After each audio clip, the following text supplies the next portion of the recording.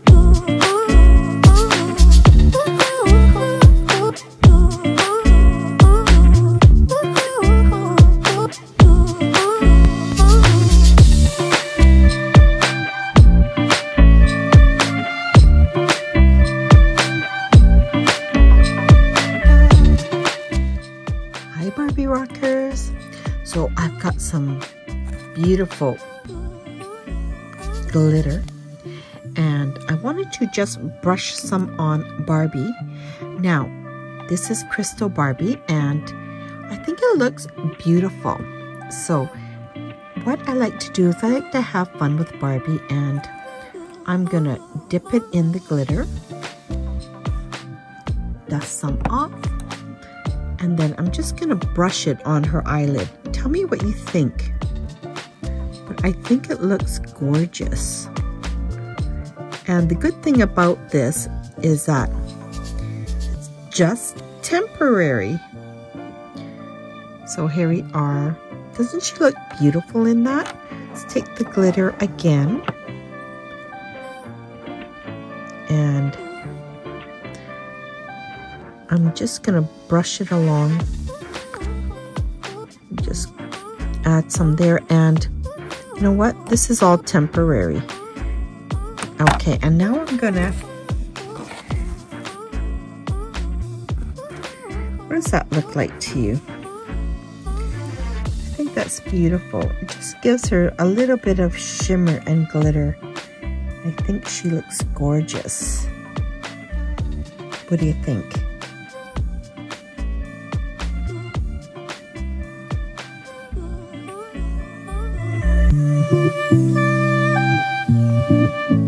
Barbie Rocks. So today I'm just going to show you all my touch-ups. I'm going to touch up my Barbie's lips because they're just all faded and I do it very easily. I'm going to show you all the different types, types of touch-up you can do with your Barbies. So let's try and just, uh, if you can just watch me closely. I hope the lighting's okay, but I'm going to do a touch up with this uh, acrylic paint. And this one is just a blushing pink, pink tone. And let's take a look. And you tell me if you like this color.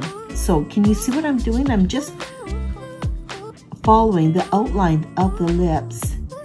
And I've chosen this bright pink for this bubble cut. And I think it looks, I think it really just pulls up out her lips. So I just give it a little arch there and another little arch there. And I'll wait for that to dry. And what do you think?